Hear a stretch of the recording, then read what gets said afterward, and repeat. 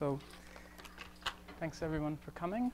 Um, I'm going to start not with Galois representations, but with a uh, geometric analog that's maybe a little more appealing at first glance. Uh, and also, I think, ultimately a bit more interesting. So there's a classical construction due to Kuga and Satake that does the following. It takes a uh, complex K3 surface and associates to it um, a complex abelian variety. And the way roughly that this works is the K3, you take its interesting cohomology, it's H2, that has this quadratic pairing. You can form the associated Clifford algebra. And then, through some cleverness, you impose a weight one Hodge structure on that Clifford algebra, and it turns out you get a complex abelian variety.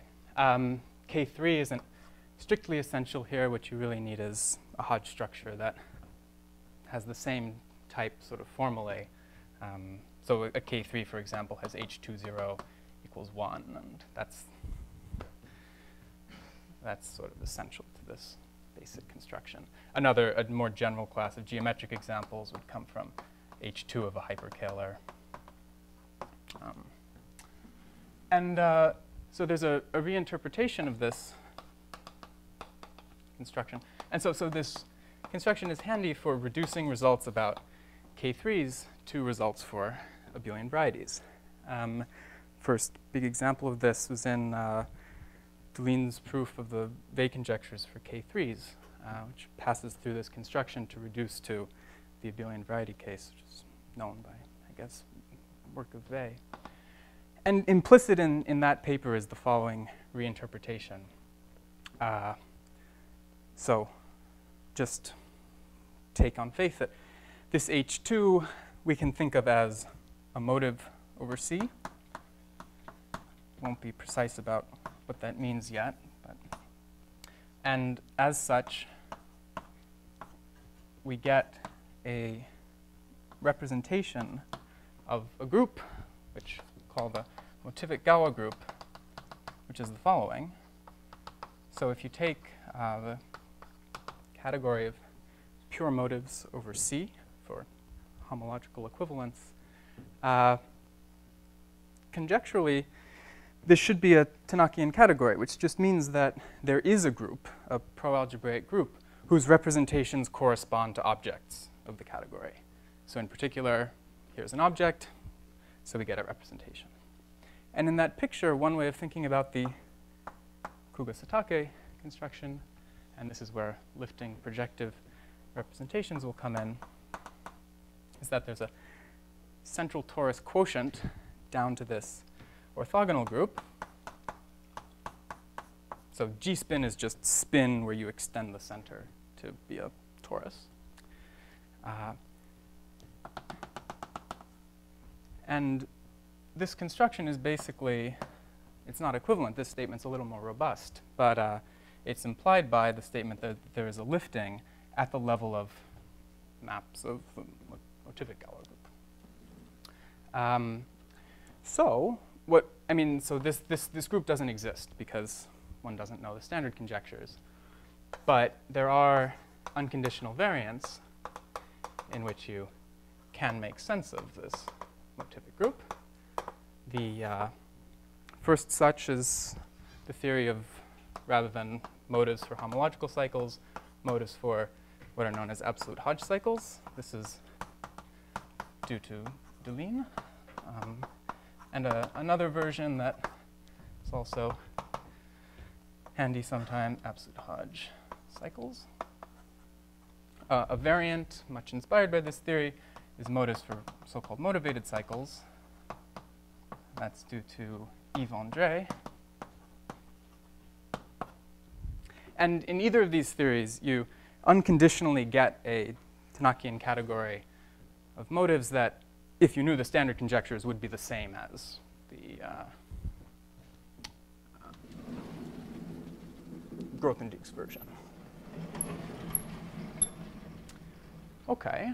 Um, so staying with K3s a moment longer, uh, in fact, this construction has some arithmetic. the construction is, I mean, as I described it, it's completely transcendental, but it does have some arithmetic aspects. And there's a result of André that also sort of builds on the original techniques of Deligne in that Weil conjecture paper that say if your x is over some subfield of C, then the construction, this, this abelian variety, actually descends not maybe to f itself, but to some finite extension, abelian variety over some finite extension of f.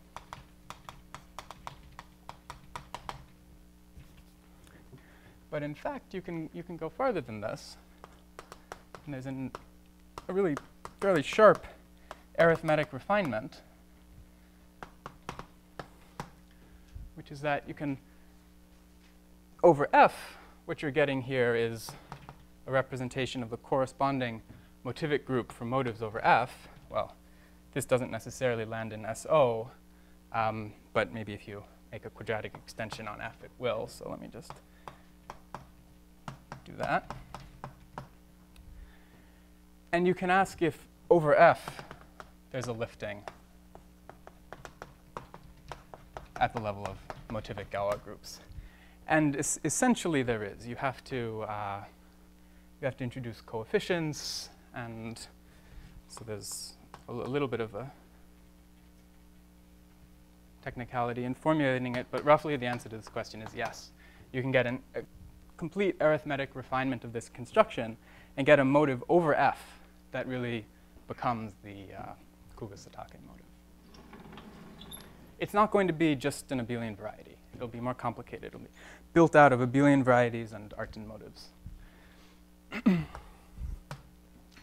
so uh, the, I started thinking about this problem because of a, a purely Galois theoretic question. Title of the talk.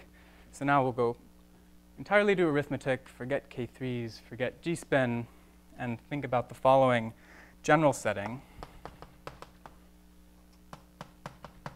So let gamma f be the absolute Galois group of now f will be a number field.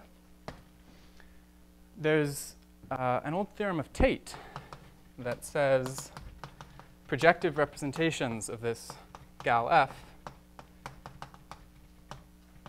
always lift to honest representations.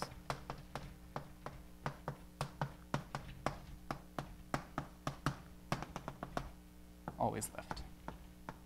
So in general, that's not true for a group. I mean, if you take a finite group, there will be obstructions to getting lifts like this. It's old theory due to Schur.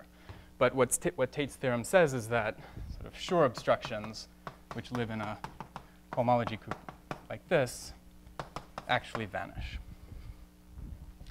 And so I want to just compare, you know, this statement here with the existence of lifts over there.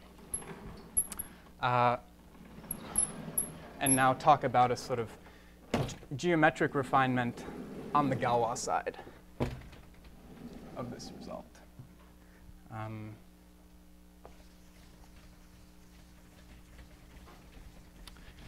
so there is an, an abstract Galois theoretic notion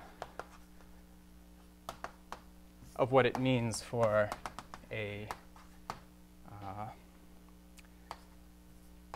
just a homomorphism from Galois to QL bar points of some linear algebraic group over QL bar. Notion of a homomorphism rho to be uh, being geometric. This is in the sense of Fontaine-Mazur. It doesn't actually say that it comes from geometry. It says it has the formal properties that we expect characterize the things that do come from geometry. And so in parallel with Tate, you can ask if you have some quotient like this, where now the key thing here is that you're killing a central torus. This is a central torus quotient. So this is something like GLN to PGLN or G-spin to SO. So if you're in this setup, uh, does every uh, geometric rho from gal f to h ql bar lift, well, we know it lifts by Tate's theorem, but does every geometric rho lift to a geometric representation? Say rho twiddles.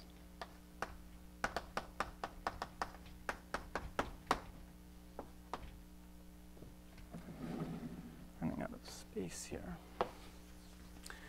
And uh, the answer to that question is usually yes. Um, the answer is typically yes. So if, uh, if f is totally imaginary, so all its complex embeddings, well, none of its complex embeddings land in R, and the answer to this question is yes. Um, in general, there's a parity obstruction. Uh, there is a parity obstruction. I won't go into this parity obstruction. It's sort of the subject of another talk, maybe. But uh, what this tells you is that most of the time the answer is yes, and you can try to transfer that intuition back to the uh, motivic side. And so the kind of question that I'm thinking about, not, not as a general problem, it's, it's hard as a general problem, but at least try to work out some cases of it, is to try to put these two together and, and ask about lifting motivic Galois representations of, you know, where this quotient h prime to, to h is some central torus quotient like so. Um, so again, this is motivic Galois group over F. Motivic Galois. And um, so yeah, I mean, I described a couple special cases over there. Uh, typically, there's a lot you can say when you're in the world of abelian varieties. And uh, it becomes much, much harder as soon as you leave the comfort of how Hodge theory works for abelian varieties. But um, you know, there's maybe, maybe some other cases that are tractable. Do I have more time? I can. One minute. Okay. Uh, well, that's that's enough. Um,